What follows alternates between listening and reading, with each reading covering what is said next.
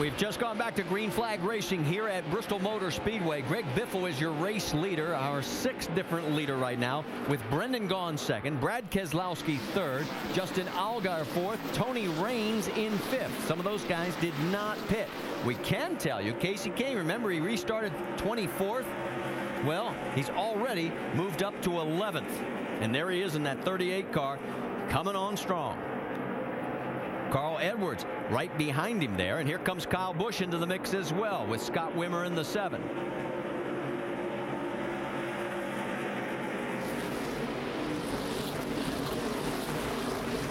Slow traffic, Morgan Shepherd down on the apron. Everybody gets by him safely.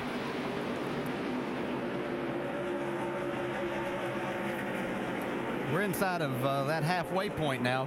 Laps are going to be winding now. We're going to see guys doing a lot more taking. And a lot less spots. given. That's exactly right. That's what always happens here. What makes this place so exciting.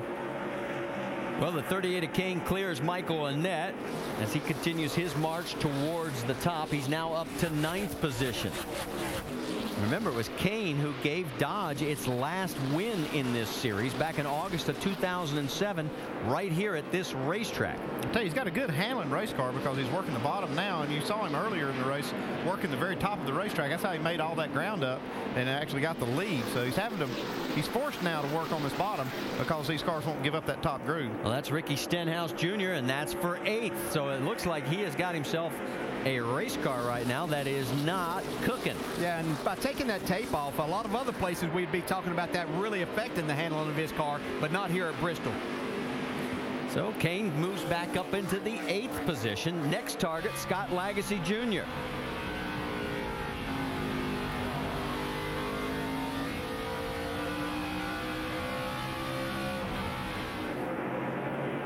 he goes around Lagasse's. Man, he's got that car going. Now remember, some of these other cars have stayed out there longer. He's got fresher tires. Yeah, but so does Carl Edwards. You saw him get fresh right sides, and he's not able to keep pace with Kasey Kahne right now working around this traffic. You can see Kasey actually gets a couple cars in between him and Carl Edwards, and Kyle Busch now right behind Carl. Yeah, we'll have to see how those two tires affect Carl Edwards' chance at winning this race. That wasn't what they planned on doing when they came in. Carl slid through the pits a little bit, and then they decided to abort that and just put the two tires on. We'll see how that works for him in the last 50 laps of this race. You're not missing anything up front. Biffle is leading Brendan Gaughan by three tenths of a second. It has pretty much stayed that way.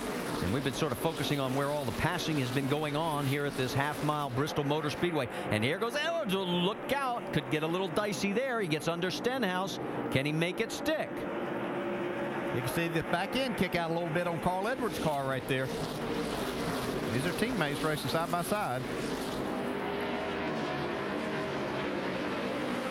Kyle Busch is going to try that high side. He's thinking that maybe Stenhouse might hold Carl Edwards off and he can pick up a spot like that. Yeah, Stenhouse might actually get trapped behind this 34 car.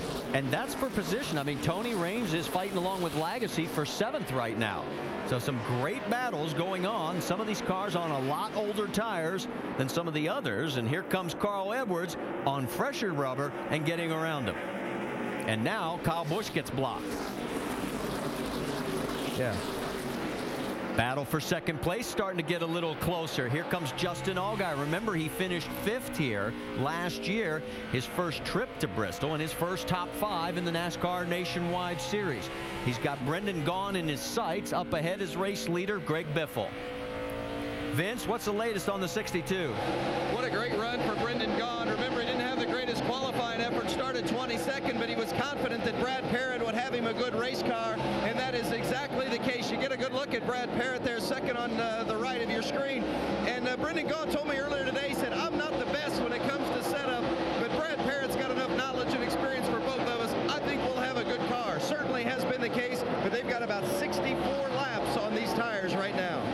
talked to these guys uh, back in the garage area earlier this weekend, and Brad was saying Toyota gives me so much data. He says I'm having difficulty sorting it all out right now and making it work to Brendan's driving style.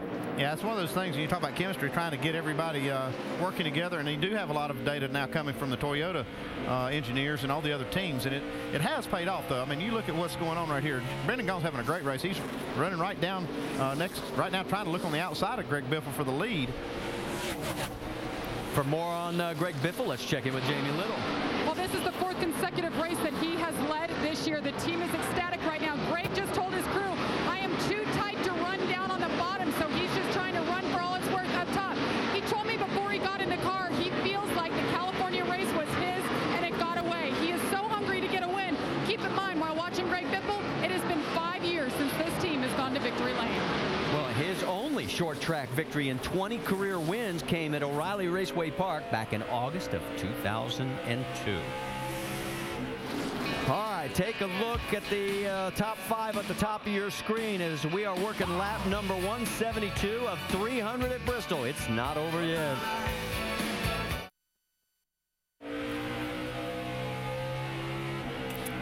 Riding with Justin Allgaier at Bristol, and if you are a uh, check the motorsports calendar first. Saturday night showdown at Bristol. Uh, NASCAR legends Pearson, Yarborough, many more are going to run a 35 lap race for charity here at Bristol. That's tonight at 5.30 Eastern on ESPN2.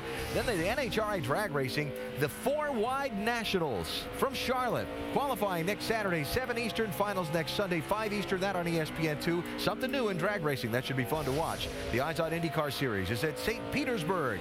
Danica Patrick at all in the field on the streets there. Next Sunday, 3.30 Eastern on ABC. And then the NASCAR Nationwide Series in Nashville, 3.30 Eastern. That is uh, coming up a week from next Saturday, April the 3rd. That's on ESPN. That's the next race for this NASCAR Nationwide Series.